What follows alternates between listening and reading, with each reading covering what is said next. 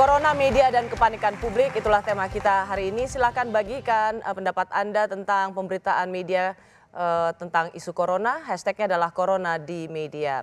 Dilansir dari laman situs WHO, kasus corona di Jepang sudah menyentuh angka 317 kasus. Enam orang tercatat meninggal. Pemerintah Jepang juga sempat mendapat kritik dalam penanganan virus corona hingga diragukan kemampuannya menjadi tuan rumah Olimpiade mendatang.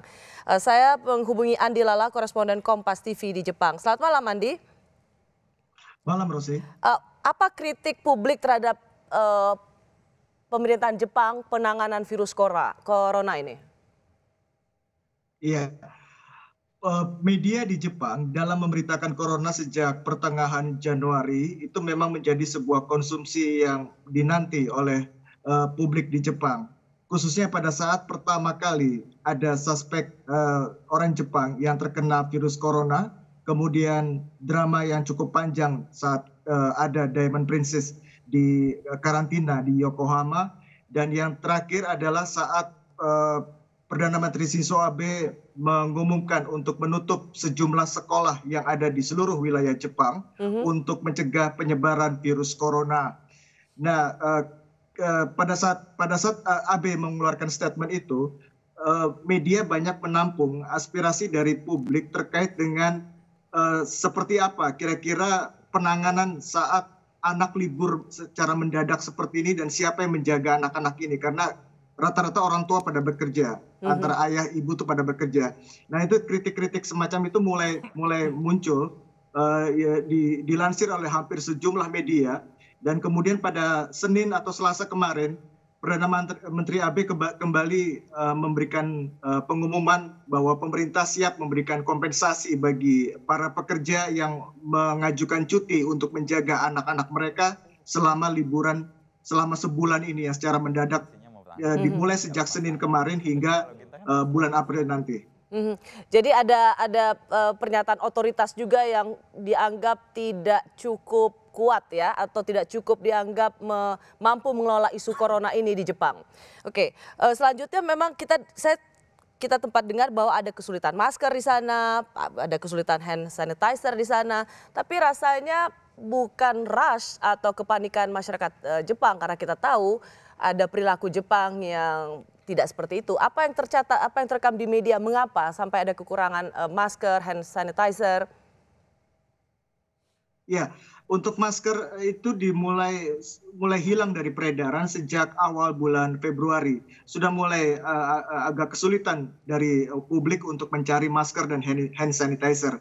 Nah, terus kemudian pada pada pekan lalu pemerintah mengeluarkan Eh, kebijakan untuk menggelontorkan dana hampir 2.285 miliar yen yang di, dialokasikan untuk membeli uh, masker yang diproduksi oleh beberapa perusahaan di Jepang mm-hmm. dan itu dialokasikan secara gratis untuk provinsi-provinsi yang uh, angka uh, grafik uh, uh, coronanya uh, cukup tinggi seperti Hokkaido itu disuplai uh, oleh pemerintah pusat Jepang di Tokyo kemudian juga beberapa daerah lainnya yang juga dialokasikan untuk eh, masker. Nah, sementara itu untuk eh, pada pekan lalu media menyoroti hilangnya uh, tisu, tisu toilet, tisu uh, dapur, kemudian tisu kotak itu sempat hilang di pasaran dan sampai hari ini masih masih kesulitan publik okay. untuk mencari tisu. Jadi bukan Namun masyarakatnya disebabkan... yang rush ya, Adilala, tapi memang pemerintahnya yang tidak siap menyiapkan pasokan itu pasokan itu mulai di, diperhatikan oleh pemerintah itu baru dilakukan pada uh, Senin kemarin dengan melakukan pembelian secara besar-besaran untuk disuplai ke daerah-daerah yang uh, grafik virus coronanya meningkat, Rosi. Oke, terima kasih Andi Lala, koresponden Kompas TV di Jepang. Jep, saya membaca di uh, ada dua media yang saya baca New York Times dan Washington Post bahkan untuk pemerintahan Jepang yang segitu detailnya, segitu telatennya, sempat tidak dipercaya untuk menjadi tuan rumah Olimpiade karena pemerintah sendiri gamang menghadapi isu corona ini. Uh, tapi juga kegamangan itu dianggap sebagai bagian atau ketika pemberitaan itu diberitakan itu kemudian media sekali lagi dianggap nih gara-gara media, pemberitaan media. Contoh, contoh, Pangeran William mendapat kritikan karena ia bergurau tentang corona. corona. Tetapi maksud gurauannya sebenarnya saya bisa tangkap bahwa tidakkah ini karena pemberitaan media Artinya ingin saya katakan, tudingan media membesar-besarkan, memperkeruh, me, apa, membuat uh, corona ini semakin mencekam, tidak saja di Indonesia loh. Tudingan itu terjadi di seluruh dunia bahwa media dianggap ikut bertanggung jawab. Apa tanggapan teman-teman pemimpin, uh, pemilik media di sini atau pemimpin media di sini? Siapa dulu? Pak Toto silakan. Ya. Dan malu-malu. Yang pertama tentu begini, bahwa isu corona ini bukanlah ajang media untuk mencari rating share. Masa? Ya, kalaupun dapat itu karena dengan Alhamdulillah ya. Contohnya, contoh begini, TV One misalnya. kalau kita kalau kita nayangin acara nggak ada rating share-nya ya disuruh Nah, tutup itu kali Mas Toto. Itu bonus saja lah itu. Tapi kira-kira begini, kita siarin misalkan dari Pulau Sebaru.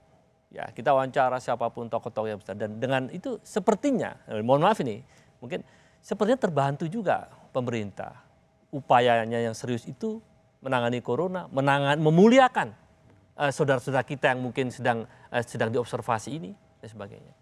Jadi media itu saat ini menurut saya Tidak adalah- melulu mencari sensasi. ya itu Untuk pasti kasus corona Dan ini itu tidak melulu cari sensasi. media ini sekarang nasionalismenya memang diuji Oke. dan kecintaannya pada bangsa ini. Contoh misalkan begini, ngapain sih capek-capek kita pergi ke kayak ke Singapura? Kita. Ada risiko anggota kita. Saya kirim orang ke Singapura pulang-pulang saya masukkan dulu ke rumah sakit dulu. Ya. Nah, itu juga banyak juga edukasi juga secara ini. Kita bilang kita sekarang harus mulai sadar nih bahwa isu ini sangat sensitif. Kita keliru sedikit bisa bahaya. Oke. Tapi begini, soal pemberitaan kan yang dianggap me- apa eh, mem- justru memperkeruh, justru membuat panik. Apakah dokter bisa melihat ini juga karena teknis penulisan? Karena ini menyangkut sangat teknis eh, medis, pengawasan, pantauan, eh, suspek. Itu yang memang wartawan tidak cukup cakap menuliskannya sehingga membuat orang tuh makin makin bingung. Ya, jadi memang pada kasus ini terdapat beberapa perbedaan dibandingkan dengan kasus-kasus yang lain. Bila biasanya dengan kata-kata suspek atau terduga gitu ya, kalau pada eh, COVID-19 ini memang ada derajat eh, penggolongan pasien. Yang pertama seperti orang dalam pemantauan, jadi dipantau gejala ringan dengan faktor risiko, dipantau di rumah, gitu ya. Jadi definisi pemantauan di rumah itu yang paling ringan. Kemudian yang kedua adalah pengawasan, jadi pasien dalam pengawasan (PDP). Nah, de- dengan kata pasien ini, kadang-kadang image orang bahwa ini adalah pasien, gitu. Jadi ini masalah bahasa. Tapi se- sebenarnya kalau edukasinya sudah dijalankan dengan baik, masyarakat juga tercerdaskan, media juga mengerti apa yang disampaikan. Nah, PDP itu atau pasien dalam pengawasan itu or- orang tersebut dirawat Oke. selama 14 hari diawasi apakah muncul eh, gejala yang lebih berat atau bahkan yang terakhir adalah confirm. Oke. Sorry, Itu yang di tengahnya sak- eh. ada suspek lagi. Jadi pengawasan yang memiliki eh, faktor risiko kontak dengan pasien gitu ya. Jadi kontak erat dengan pasien, nah itu orang yang diawasi dan dia memiliki kontak erat, maka dia masuk dalam suspek. Apabila diperiksakan virusnya dia positif, maka confirm. Jadi sebenarnya yang disebut juga dengan pasien yang positif itu adalah pasien dengan confirm virusnya positif. Gitu. Nah, Kebing- derajat itu harus Anda suka baca ada kebingungan nggak di penulisan atau penayangan eh, berita-berita? Iya tentu ada saja mix. dan bahkan em, pejabat-pejabat pun pun suka salah untuk menyebutkan. Memang ini harus eh, dilakukan adaptasi sebelumnya. Jadi dari awal kasus ini muncul hingga positif, harusnya masyarakat sudah tahu mengenai itu. Sehingga ketika media menyebarkan informasi ini semua tidak panik. Ya. Jadi memang sejak awal seharusnya sudah betul-betul dibekali ya, karena ini sangat kental dengan teknis eh, medis, Ya, ya. pantauan, pengawasan, positif, korban. Kadang-kadang kalau kita dengar suspek kita seperti kayak dalam kriminal udah terduga, tersangka, padahal suspek itu tidak tidak melulu sesuatu Gejala. yang langsung buruk begitu. Ya. Oke, eh, Mbak Eski, kalau misalnya Anda melihat se- sesungguhnya nggak cuma media Indonesia loh yang ditudung bertanggung jawab. Semua media di dunia ini dianggap ikut apa membuat deg-degan soal isu corona ini. Ya karena kan emang ini eh, virusnya kan virus mendunia ya gitu loh dari satu kota kecil kecil lah ya maksudnya Wuhan gitu. Kemudian di situ ternyata ada universitas internasional, ada seperti kemarin kan ada 238 pelajar kita. Jadi emang ini ke mana-mana. Kemudian ada turis Cina yang ke seluruh dunia juga. Jadi ini memang eh, apa namanya secara global penyakit ini memang ada di mana-mana. Bahkan di Tapi kan Italia Mbak Mbak Nggak, selalu bilang gini, jadilah media yang merah putih. merah putih. gitu. Iya, karena menurut saya kalau misalnya tadi Rosi kasih contoh, oh di dunia mana pun juga ada hoaxnya, ada media yang ngaco gitu ya. Ya pasti ada, nggak usah ada corona juga pasti ada.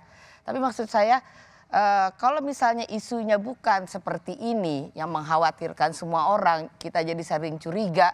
Orang teman bersin dulu bless you. Sekarang gila jauh-jauh dari gue. Gitu kan? gitu loh. Nah, ini kan menurut saya eh, perubahan yang luar biasa loh. Nggak main-main ini gitu ya. Nah, bagaimana teman-teman media ini eh, bahasa saya kalau yang media online atau yang tadi Mas Toto sebut TV, rating, share, sekali-sekali CSR lah sama kita-kita publik ini gitu ya. Jadi eh, kasihlah edukasi gitu ya, kasihlah edukasi. Kalau misalnya kurang kayaknya kurang paham, ada dokter Jaka, ada dokter yang lain-lain gitu ya bisa tanya ini maksudnya apa. Tapi di media sebenarnya ada panggilan untuk melakukan ini juga. Sebelum pemerintah melakukan eh, membuat pernyataan ada positif itu.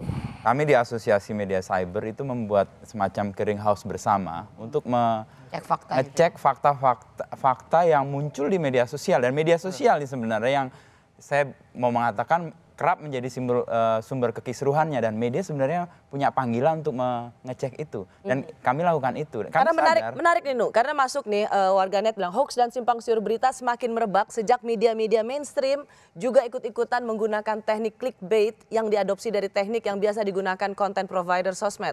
Media mainstream ber- berperan jadi agen kekacauan juga dalam eh, pemberitaan corona ini.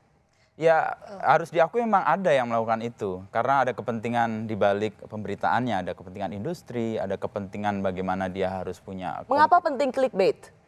ya untuk dapat pembaca dan pembaca itu belakangnya Apakah adalah clickbait bisnis. itu pasti negatif? nggak selalu sebenarnya. Sebenarnya itu teknik untuk menarik perhatian pembaca. Bahwa kemudian dipakai untuk kepentingan menarik sesuatu yang tidak sesuai dengan yang dijanjikan, itu clickbait yang keliru. Keliru. Saya. Clickbait adalah penting, sama seperti kalau kita diajarkan dalam jurnalisme bikin judul ya harus menarik Ya, ya, ya. nggak mungkin bikin judul yang nggak harus eye catching. Kalau enggak ada nonton. Dan salah satu Begini, tugas urusannya kan itu. Tapi- urusannya menurut saya tuh gini, clickbait itu kalau dia memancing atau menggoda orang untuk masuk boleh. Yang tidak boleh adalah kalau dia menyatakan sesuatu yang tidak benar. Jadi judul berbeda dengan isi. Ya. Nah, yang saya juga cemaskan dari diskusi kita ini adalah kalau kita memotret kondisi sekarang ini bahasa Eski merah putih, bahasa Mas Toto nasionalisme adalah kita kemudian kehilangan profesionalisme dalam pengertian bahwa kita dituntut untuk menyajikan berita loh. Enggak, tadi Jadi kan jangan sampai maksud saya Eski, jangan sampai kecemasan itu kemudian membuat kita menyembunyikan sesuatu di belakang. loh, Itu harus dimunculkan. Saya Ya. sependapat dengan Eski. enggak dari awal kan saya tadi bilang, di awal loh, di awal saya bicara saya bilang kritik pemerintah. Yes. Silakan. Saya bilang gitu. Tapi ada edukasinya dong media. Kemudian kalau tadi sekarang kan dunia sosmed, macam-macam lah ya hoax itu dan segala macam, gitu ya. Nah eh, media kan bisa menilai yang bisa diambil yang mana.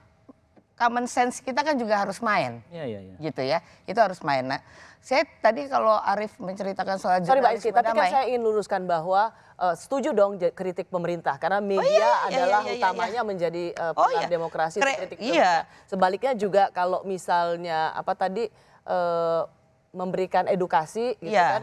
Itu kan juga apakah media memang punya peran untuk mengedukasi itu? Iya juga. Tapi jangan sampai media kita juga sering dapat kritik begitu. Misalnya Hmm. media sekarang jadi kayak buzzernya pemerintah gitu. Enggak juga. Jangan sampai me- media tuh juga. jadi buzzernya pemerintah. Saya malah lihat sebaliknya loh media sekarang enak benar bisa ngeritik pemerintah coba orde baru. Lenyap Saya boleh semuanya kan. kasih satu nah, poin? enggak maksud saya eh, dari apa eh, statementnya Arif, tadi Arif menyebut soal jurnalisme damai. Itu kan tidak menghilangkan fakta. Iya, iya. Gitu ya, harus kita tulis gitu loh. Nah, tadi makanya saya bilang kalau situasinya tidak begini, saya kalau baca ngomel-ngomel selesai ya, nyinyir-nyinyir lah dikit gitu ya, ketawa-ketawain, ledek-ledekin teman. Ini situasinya nih global seperti ini. Itu ya tadi saya kasih contoh, kalau teman kita bersin dulu kita bless you. Sekarang kita jauh-jauh Saya lu dari sedikit aja, kayak gitu loh. Saya nambahin Kan sedikit Ada aja. perubahan. Kan ruang geraknya si media itu sebetulnya adalah antara satu dia harus mengungkap apa yang menjadi kepentingan publik.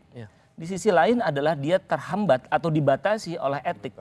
Jadi di situlah dia bermain gitu. Jadi jangan sampai kecemasan kita bahwa media itu harus patuh pada etik membuat kita menjadi menyembunyikan informasi. Itu yang jadi concern saya. Ya. Jadi Nggak ada. jadi saya Jangan setuju. sampai Oke, dong ya. justru. Iya, itu Saya boleh dia saya. satu poin yang lain? Oke, kenapa? Gini, masih eh, terkait sama ini loh, masih- soalnya masih. kita antara tetap profesional gitu. Ya, ah, persis. Dan ini juga terkait dengan jurnalisme damai yang tadi disinggung oleh Arif dan Eski. Maksud saya begini, Saya nggak tahu apakah ini sudah waktunya atau belum, tetapi kita melihat bahwa dengan kepanikan-kepanikan seperti ini, tapi di sisi yang lain kita juga mendengar ada berita baiknya. Bahwa ada banyak di, di beberapa tempat di dunia, banyak pasien yang sembuh. Iya. Ya. Iya, iya. Ya, artinya lalu kemudian eh, di Indonesia juga mungkin pemberitaan-pemberitaan bisa mulai diarahkan ke sana. Kalau memang sudah ada sudah ada yang memang dite- eh, apa diketemukan di dirawat dan kemudian akhirnya sembuh dan lain-lain. Artinya tidak selalu berita-berita buruk yang muncul, tetapi Yang juga berita-berita yang Satu baik. hal yang saya usulkan pada Pak Muldoko kemarin siang adalah bahwa apabila ada orang yang sehat, itu harus contoh hebat bahwa ini harapan ini. Jadi jangan takut, ini bisa sembuh. Mas Toto, se- sebaliknya begini Mas Toto, ketika di bulan Januari sampai pertengahan Februari pemerintah tampak masih tenang-tenang sebelum Ya. ada dua orang itu, maka tugas media adalah mencari. Ketika dia kurius bahwa masa sih nggak ada, dia cari. Itu boleh dan itu harus. Harus. Sepanjang dia berjalan di atas koridor yang saya bilang tadi. gitu. Saya mau tanya, apakah media arus utama merasa dirugikan dengan banyaknya influence- influencer yang kemudian dipakai? Bahkan meskipun dibatalkan, ada dana sebesar 72 miliar yang akan digelontorkan untuk influencer. Kami kembali sesaat lagi.